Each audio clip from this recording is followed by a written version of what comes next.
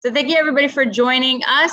We um, are here today to talk about renesting wildlife. Do you guys see the just the screen? Yep, it looks perfect. Slideshow. You don't see any pictures of people. Mm-hmm. Okay, perfect. All right. So, uh, renesting wildlife: how and when to reunite wildlife babies with their parents. Um, this is the perfect time of year. Uh, it is though it feels like summer outside, it is springtime for uh, wildlife in South Florida and around the country.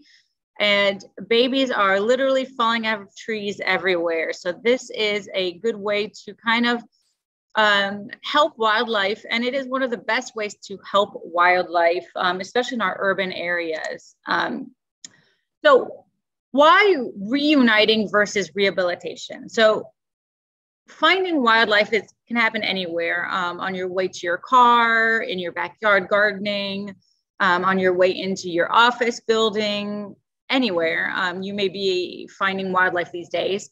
Um, and instinct is to help it, no matter who you are, whether you're an avid animal lover, your natural instinct is always to, to help wildlife. Uh, but there is a choice you have to make um, off the bat. Are you going to just immediately pick it up, take it home, or are you going to try to solve the problem you know uh, on the spot? And we all live in busy lives and we all have somewhere to go but taking a couple of extra minutes can really help wildlife um, by just reuniting it with its parents. Some reasons um, the best reasons to reunite wildlife and obviously always healthy wildlife back to with its parents is mother knows best um, and we mean that for all species. Mothers do know best uh, we we have done rehab for so long now that we have been able to um, collect data to, to see survivability. And really mother raises her child better than any human can. Um, natural behaviors are learned through uh, observing the parents. So when the babies are in the nest um, whichever kind of nest they are in they're observing their parents the moment they open their eyes and they're learning natural behaviors, how to preen themselves, how to groom, how to maintain their feathers or their fur, how to um, eat. You know, if they're predators, they are observing their parents shredding the food and how to cast pellets, things that, that we as humans would never be able to teach uh, wildlife. They get a more diverse diet, uh, you know, with, with rehabilitation uh, diets are very limited. We are only able to produce or purchase a certain amount of diets, but within the wild community, they are able to forage a variety of bugs. Dinner is never always the same. Uh, so they get a more nutritious vitamin balance uh, through through a diverse wild diet through mom, um, which helps for growing bones, better vision, um, just like it does for humans. You know, better diet does provide for a healthier body. Um, nutritional milk for our mammals, uh, though synthetic milks uh, have come a long way in the rehabilitation process. Um, mother's milk still provides a variety of nutrition that is age appropriate. The studies have shown that the milk in mother's uh, mammals milk changes from newborn to um, all the way into the waning uh, days of nursing for, for all of our mammals. Whereas human uh, manufactured formula kind of stays the same. We either dilute it or not, but it, it doesn't um, vary as much.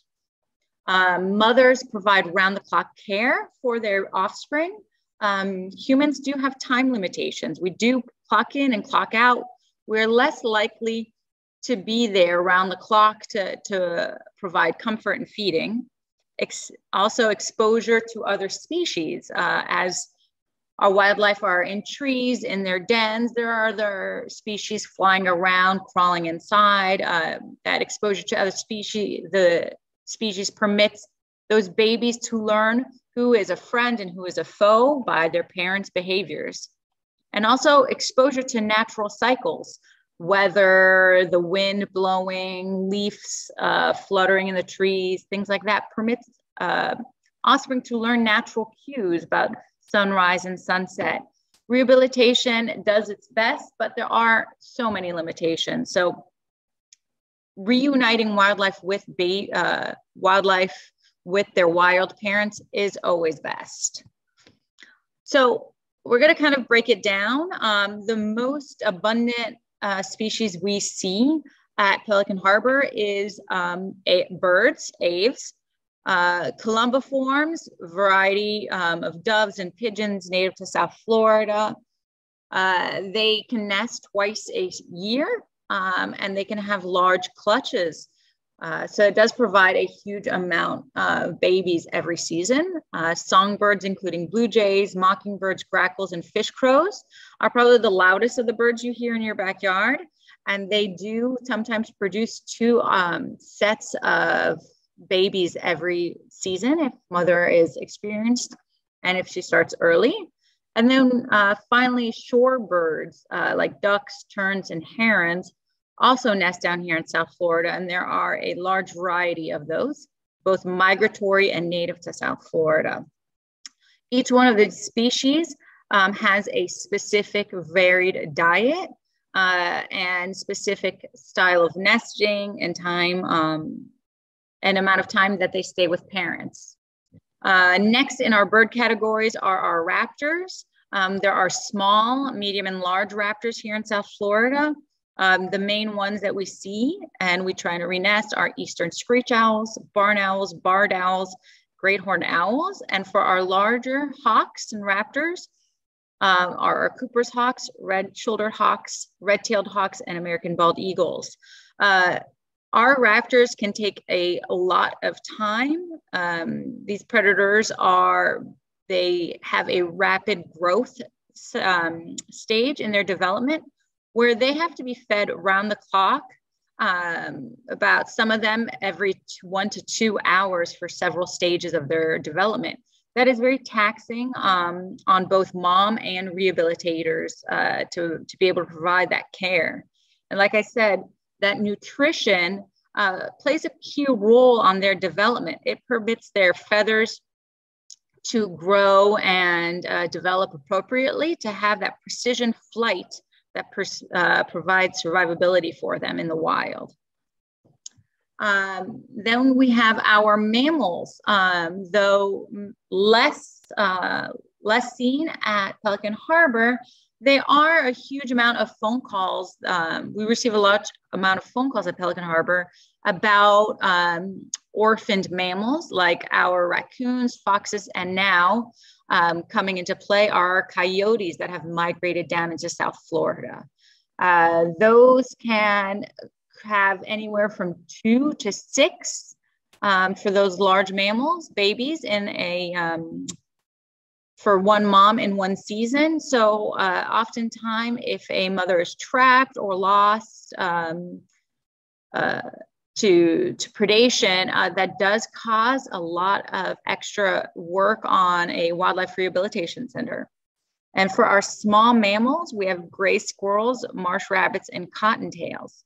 Now, I did not include um, Virginia opossums in anywhere in that list um, because those are not an animal that can be re-nested because of mom's marsupial pouch.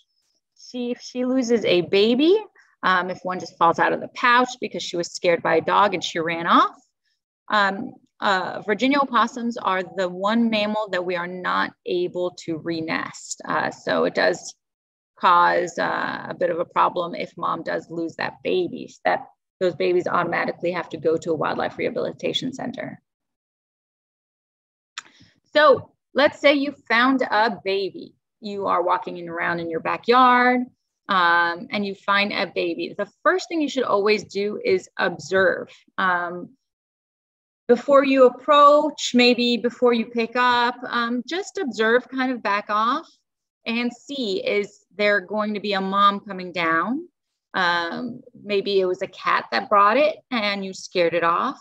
Um, that would definitely paint a, a, pretty important picture for you. Uh, so before you you make any moves, just stand back and observe. Don't pick anything up. Don't don't make any um, assumptions.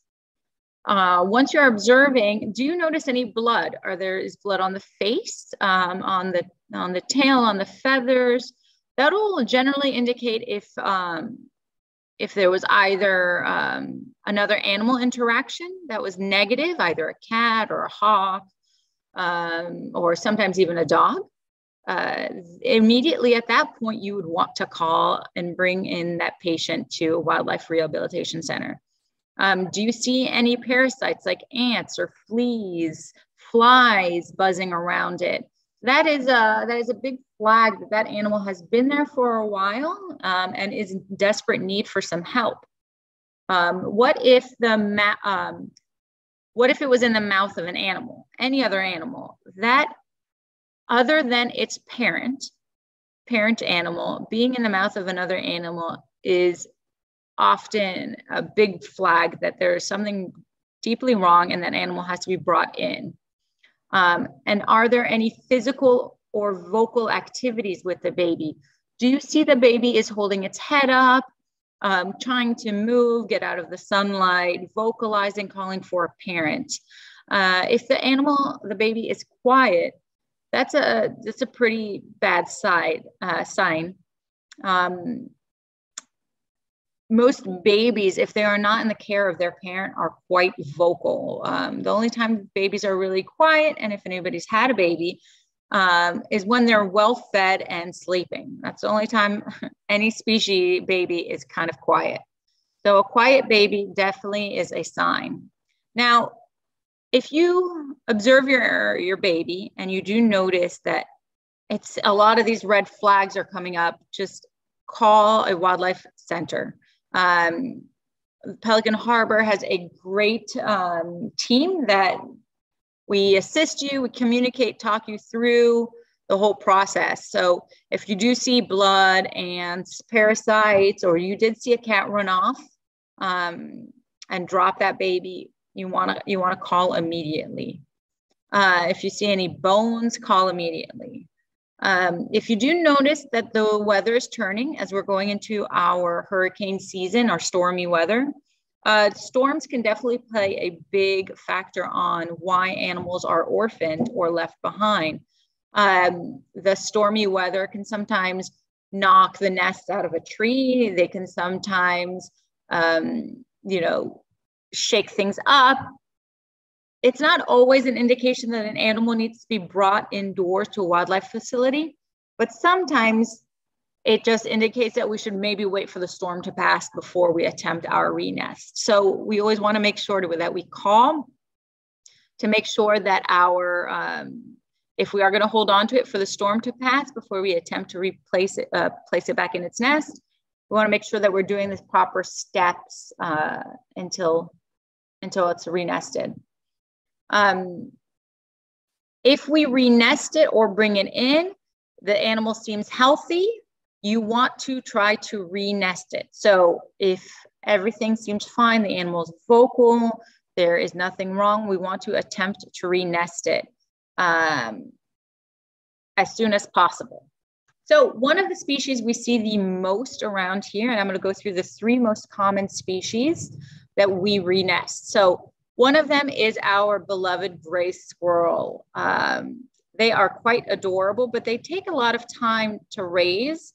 Uh, depending on the age that uh, gray squirrels um, brought into the Pelican Harbor, it can take anywhere from one to, to three months to raise a baby squirrel. Uh, so it's very time consuming, very taxing on the staff. Um, and like I said, it's not always the best for the patient. They're not learning um, how to be a successful gray squirrel in the wild um, as well as they would if they were with their mother. So if you do find a gray squirrel at pretty much whatever age, it's a the same process. You want to do the first step, which is observing. Now you've established that the squirrel is able to be renested. You are going to place that healthy gray squirrel, even if it has a fluffy tail or not, you want to place that healthy gray squirrel directly on the ground. So you do not want to put it in a box, don't put it in a towel, don't put anything that would scare mom off. You want to place that baby right on the ground, back where you found it, as close as possible. That squirrel mom knows where she left her baby. they are good mothers. They have already invested a lot of effort into that baby. There's no good reason that they would step away from that baby. So play that, place that squirrel on that ground, right next to where you found it. And you are going to go to your phone and play the gray squirrel distress call. You can find that on YouTube. Uh, and the link is here um, in blue. If you uh, later on when they post this, you'll be able to access it. I would play that as loud as I can uh, on our cell phone and place it near the squirrel, not directly on it, but near the squirrel. That will you will play that uh, uh, several times, and mother typically comes running down immediately and retrieves her baby. Uh, I have a question. Would a squirrel distress call alert a raptor uh, I've never had that incident with a raptor being um, uh, alerted. Typically, the human presence kind of deters the raptor from coming in. Um, and often, what happens is uh, every time I've renested a baby squirrel using the distress call, mom comes down immediately. Um, and raptors are not sitting uh, in our trees, just, you know, kind of waiting for a squirrel to pop down. Uh, they're kind of just flying around and being opportunistic, maybe chasing something out of a tree. But great question. Um, all right. So what you want to do is play that audio as close to that squirrel as possible and step away. You want to be at a close enough distance where you can observe maybe a parked car nearby, um, but you don't want to be directly on top of that squirrel. Mom is most likely watching in a tree and waiting for you to step away to come retrieve her baby. Now, I understand that most of us, uh, you know, if we find a squirrel, it might be at a public place like a park, a city park, or maybe on the front of our sidewalk with a lot of cars going by. So this sometimes may take a couple of tries as long as your baby is healthy, as long as your baby is vocal and moving around, this is a great option. We want to also make sure that we never ever feed a baby squirrel. Uh, we want to make sure that we don't do that for several reasons.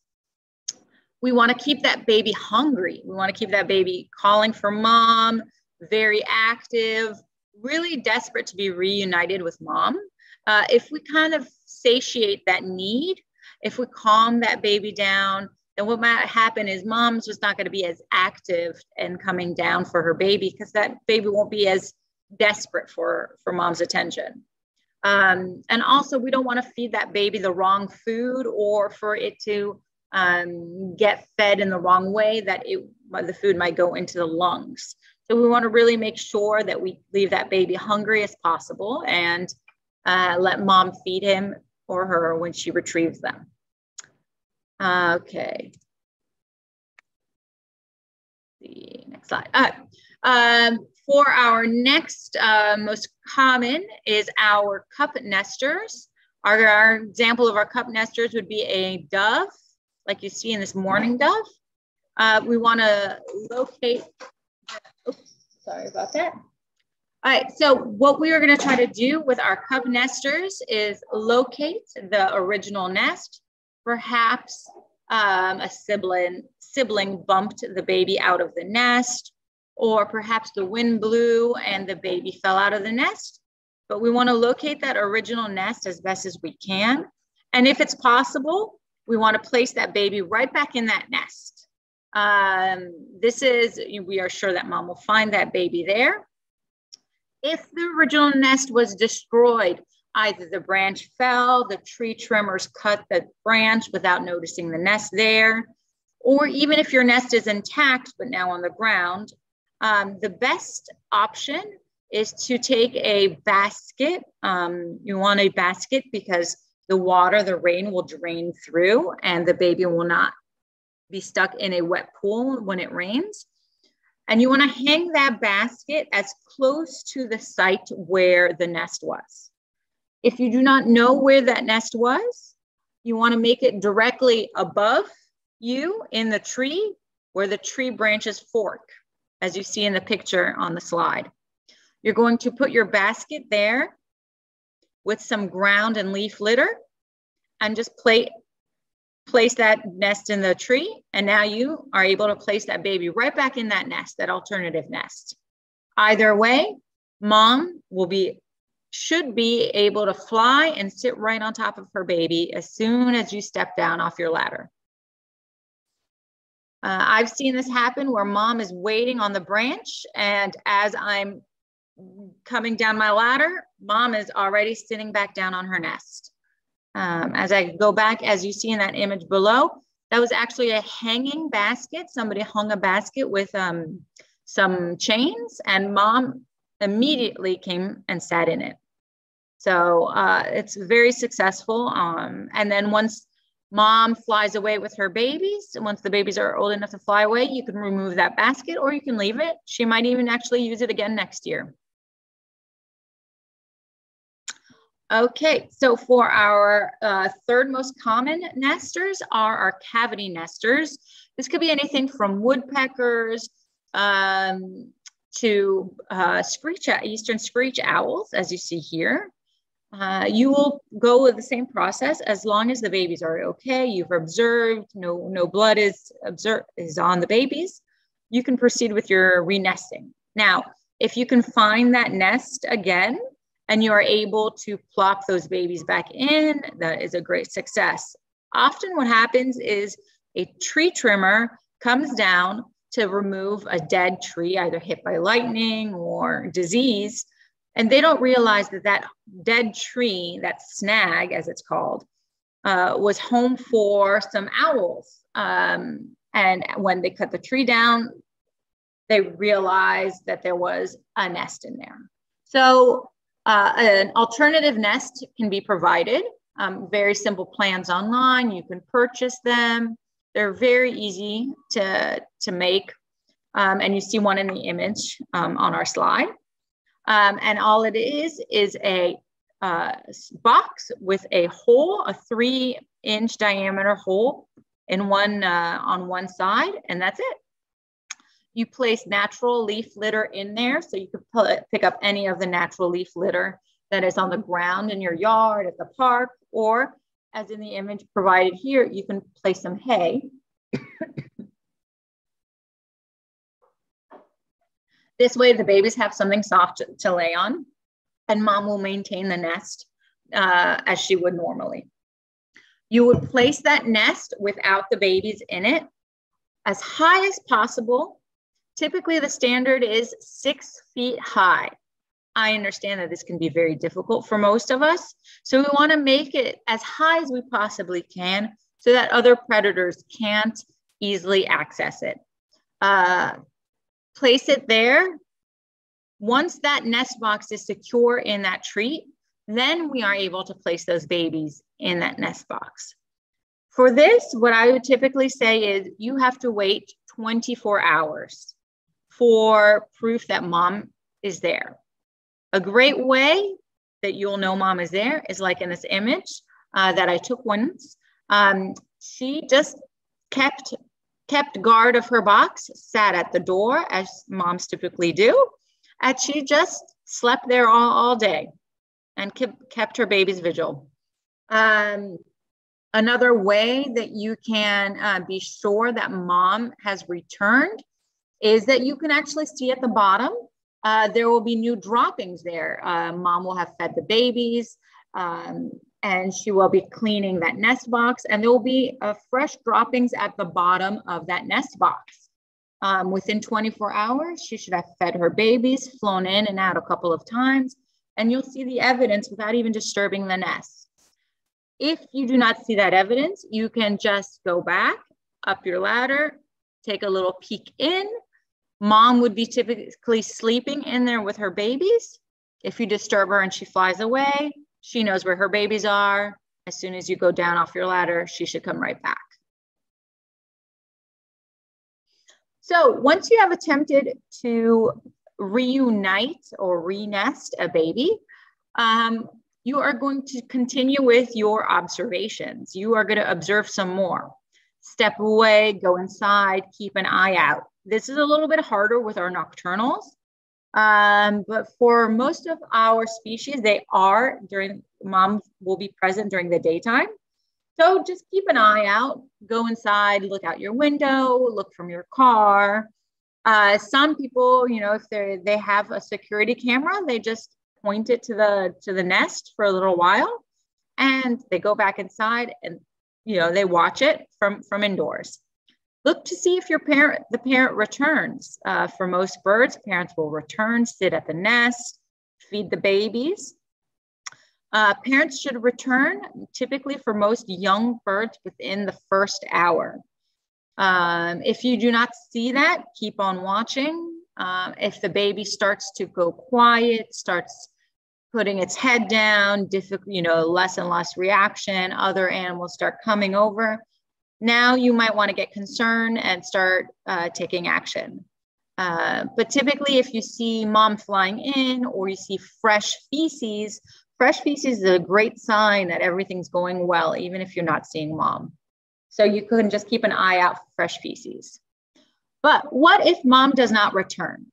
Sometimes mom doesn't return, not because she's, you know, quit doing her job, but perhaps because something has happened. Uh, cat got mom, or maybe there was an accident.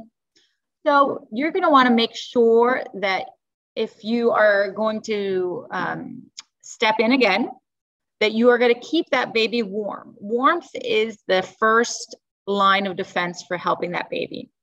You're going to keep that baby warm and you will not be feeding the baby. Like I said before, do not feed the baby. They're going to try to convince you. You will you will stay strong and not feed the baby. And you want to call immediately Pelican Harbor Seabird Station and get the directions on what you should do next.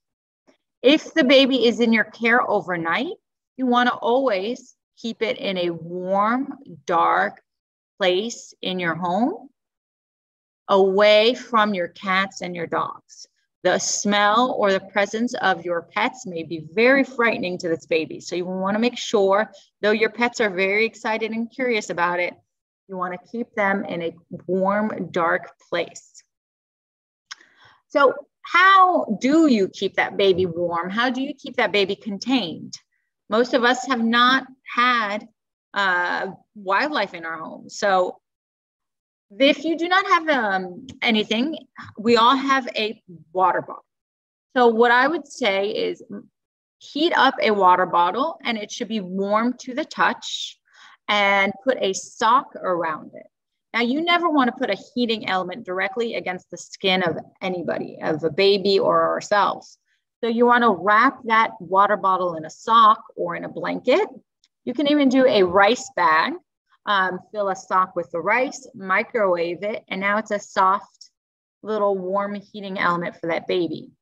You can also have a heating pad, a regular heating pad that you get from the pharmacy, and you can place that under the container the box, the carrier that you have your baby in. If you have a cardboard box, they are great. You can use a cardboard box with an old t-shirt, an old linen. Um, bundle that in to keep your baby nice and soft and warm. Have a nice little touch to them and make sure your cardboard box has pre-cut out holes for your baby. This way you can keep the box closed, but your baby is secure and is able to have breathe. And ultimately, if you have a pet carrier of any size, those also work great. The heating pad or um, the water bottle or the rice bag will fit right, will work perfectly with that. Uh, your help definitely matters in, uh, in the situation. Last year, Pelican Harbor Station took an average of one patient every four hours. And for half of the, pa- uh, for that, half of those patients were babies. So that was about uh, one patient every eight hours was a baby that was admitted to Pelican Harbor. Not every baby needs rehabilitation care. Many babies are perfectly healthy and can be reunited with their parents. Um, so it is a great way to, to help wildlife from the comfort of your own space, from your home. Um, you are saving uh, Pelican Harbor countless hours of uh, staff, volunteer care, and resources. Okay, so I hope that was pretty helpful. Um, I'm happy to answer any questions if anybody has any. I have my chat open if anybody wants to ask via chat. If not, um, you can unmute yourself and I'm happy to answer. So I got, does Pelican Harbor have the ability to pick up animals? Yes. short, short, uh, answer. short, answer. yes, we do. Um, so we have two methods uh, of doing this.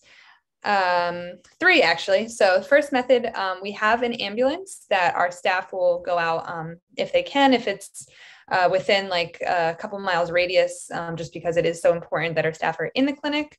Um, then we'll be able to go out and rescue patients or transport them.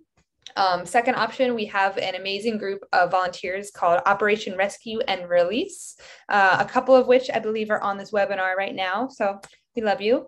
Um, so these are specially trained volunteers uh, that have been taught how to properly contain and transport patients. So we will um, send out like a mass message to our group um, with the location, the species, the finder's information, um, and our volunteers will go rescue uh, and transport them back to us. And our third method is if the animal is already contained, um, and people usually get a kick out of this, but it uh, we can actually Uber the bird or the mammal, um, the patient. Uh, around 10 or 15% of our intakes every year are actually transferred to us via Ubers. Um, and that's completely out of our pocket. Um, if anybody has any contacts at Uber, please send them my way because I've been trying for a long time to get them to sponsor us somehow. Um, but yeah, those are our three uh, three methods there of of us being able to to help um, transport and re-nest as well. Hi, I'm sorry for joining late. I found a baby bird this morning, but couldn't locate the nest. Is it best to take the bird to the station in this case? I don't have experience in baby bird care. Well, I want to uh, say uh, thank you for trying to help that baby bird. Now, when it comes to the baby bird, it comes with a couple of factors. What kind of baby bird? Is it a raptor, a songbird, things of that nature? Uh, so I think what would be best is to to, well, I don't know if uh, anybody's available to call, talk about it right now, but to call and kind of uh, talk with somebody at Pelican Harbor about what kind of bird it is and how best to go about renesting it. Yes. You know, Sandra, I'm going to direct message you my number right now. Um, you can send me some pictures and we can chat and try to find the best solution. I also did not mention um, least terns, a little picture of a little guy down here of least tern, one of my beloved animals. Um, least terns are a little different than all the other birds, but you want to make sure that you're always contacting, contacting if you find this little treasure. Um, call, don't touch, call first. Um, these guys nest on gravel and rocks. They used to nest up and down the shoreline of South of Florida. But as we started moving onto our beaches and uh, living on the coastline, they uh, relocated to gravel rooftops. And in recent years, gravel rooftop, rooftops have been um, changed to tar rooftops. So we're seeing um, more nesting in some area and less nesting in other areas. So these are very protected little birds. Mm-hmm. Yeah, lots of them um, over in Doral. Actually, a couple years ago, we uh, received a call that um, there was a uh, clothing company warehouse in Doral that was doing maintenance on their roof on their AC. Um, saw these birds up there, and the contractor took it upon himself to remove these birds from. We thought he was going to be so helpful over the edge of the building. Um, so thankfully, someone contacted us, um, and we were able to, you know, get the authorities involved and get those birds back up there um, with a stern, stern uh, warning and yeah. you know uh, knowledge that that is a criminal offense since these are all protected birds, but least terns in particular um, are actually a threatened species in the state of Florida as well. So very protected yeah, extra extra important to to keep them happy and safe. But yes. well, it seems like we've run out of questions. Uh, Julie, can you hear me? This is yes. Michael Painter. Okay, Hi. great. Yeah. Um, so I, I, do have a question. For, first, mm-hmm. thanks for a, a, really nice presentation. Thank you. Um, I, I, was wondering how you guys deal with um, rehabbing uh, birds in this case that are migratory. Um, how long do you decide to hold on to the birds and how do you know when to release That's them? and if they question. are migratory, how, how does how do you kind of integrate them back into their you know natural well that is a very comp that's a very complex answer to uh, your question so very in good question uh, very observant question so it really depends on a lot of factors. Now are we talking about a baby? So like these least terns they do migrate down here for nesting.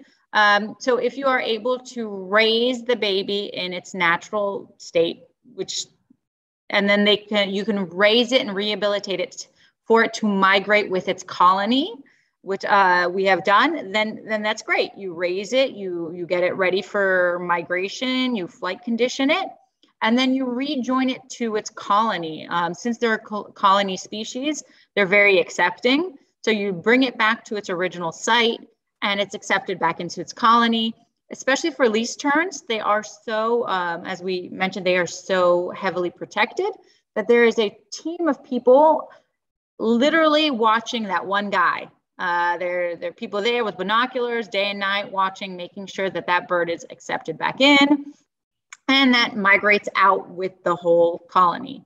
Um, if it is an adult patient that comes down, um, you know, it's migrating down here and it gets hurt in Florida, and it takes a long time you know perhaps the bones didn't heal or maybe it got injured on the way back north um, and its colony has has now moved on um, what happens often is the network of rehabbers are, is, a, is a phenomenal network um, you find out where uh, the closest colony is where the closest rehabilitation team is there and you you coordinate with them. You see okay uh, i can transport this bird to here can you come here?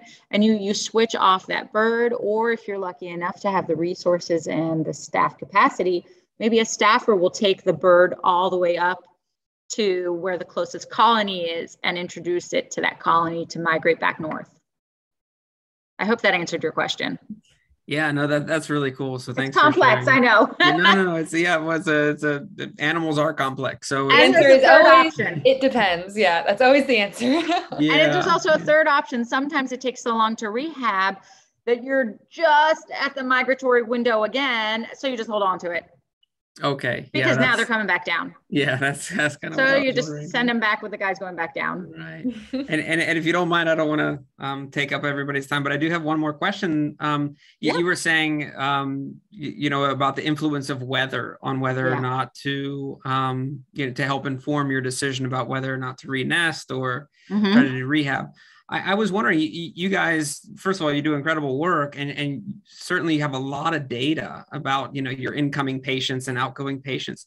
I, I wonder if you guys have ever looked at whether or not you see an uptick in the number of patients you have before a storm like a hurricane hits. Now, it makes sense that you would have a lot of patients coming in during or after the storm, but you know these animals have an uncanny ability to kind of sense things we can't and I just wonder if you guys have ever looked at at the patient rate uh, before a, a, storm, which may indicate that animals are sensing something's coming and, and may abandon um, their position. Well, I love data. So you hit mm-hmm. a couple points that I love. I love numbers. I love data. I love crunching the numbers just for fun. So uh, before the storm, there really, it's kind of is a little bit of a lull before the storm, whether or not it's because the humans, you know, us, we're busy running around prepping for our homes that we're not out in the parks and things like that noticing as much, but there is a bit of a lull right before a storm. And there is a huge uptake after a storm. All the trees come down, things like that. Um, so there is a, a, lull, and then there's a storm, so there's nothing, and then there's an uptake. And I'm talking about a huge storm, like a hurricane, things like that. Um, there are weather patterns. Um, sometimes there are. There was a case oof, gosh, I might be aging myself now. Around 2019, I think.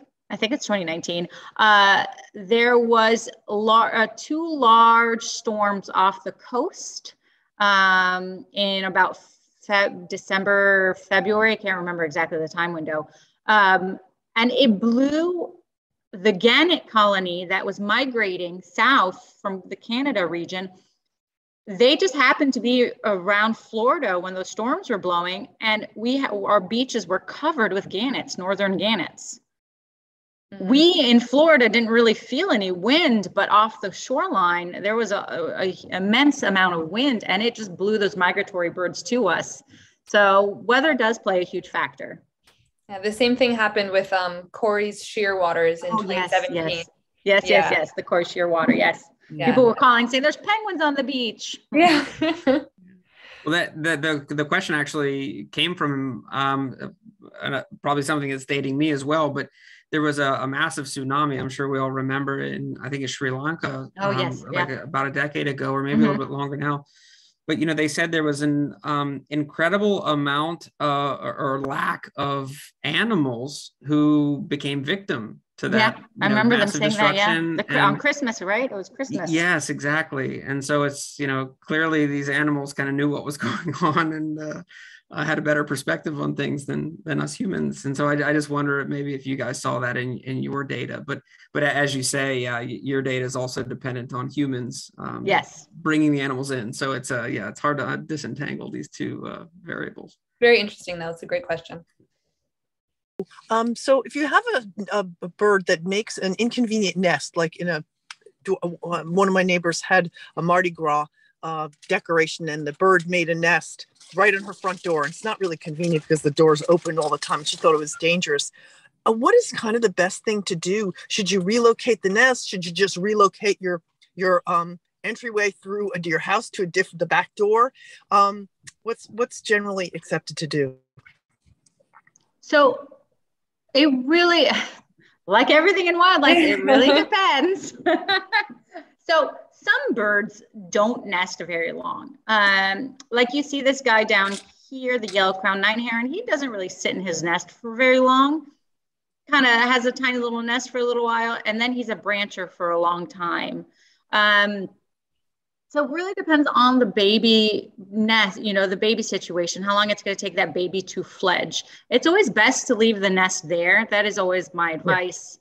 Yeah. Um, yes, it's inconvenient for you, once those babies have fledged, you are welcome to remove the nest, remove the inconvenience, close up the hole, put up a barrier. Uh, but it's always best to leave the baby there, the nest there. I know it's an inconvenience sometimes. The, the nest is, like you said, right at the doorway. But if mom chose that spot, she knows the door is opening. She's aware of the situation. She flew back and forth a bunch of times. She she's aware of it, so she's okay with it. It's us that maybe are, are inconvenienced by it. And if you're able to use another door or just be okay with it for just a, sometimes even just a couple of weeks to maybe a couple of months, and then and then you could just break it down and, and it'll most likely never happen again. That, I hope that answers. Well, there was question, no, there Susan. were no babies in this nest.